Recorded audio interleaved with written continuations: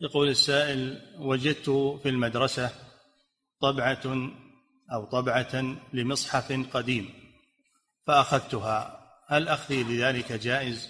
نعم يقول وجدت في المدرسة طبعة لمصحف قديم فأخذتها.